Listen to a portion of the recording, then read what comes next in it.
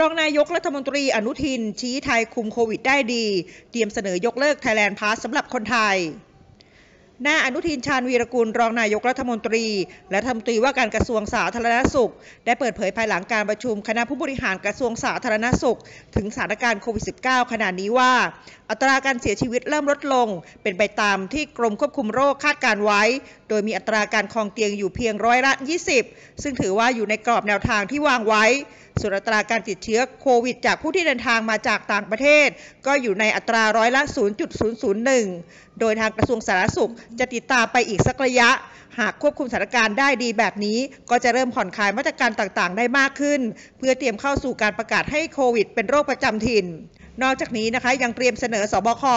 ยกเลิกการใช้ Thailand Pass ในกลุ่มคนไทยที่เดินทางเข้าประเทศอีกด้วย โดยจะเริ่มจากคนไทยก่อน แล้วค่อยขยายไปสู่ชาวต่างชาติ ที่จะมีการพิจารณาขอให้ยกเลิกการใช้ Thailand Pass ในระยะถัดไป พร้อมย้ำขอให้คนไทย เร่งไปฉีดวัคซีนป้องกันโควิดให้ครบโดส และเป็นไปตามเป้าหมายที่วางไว้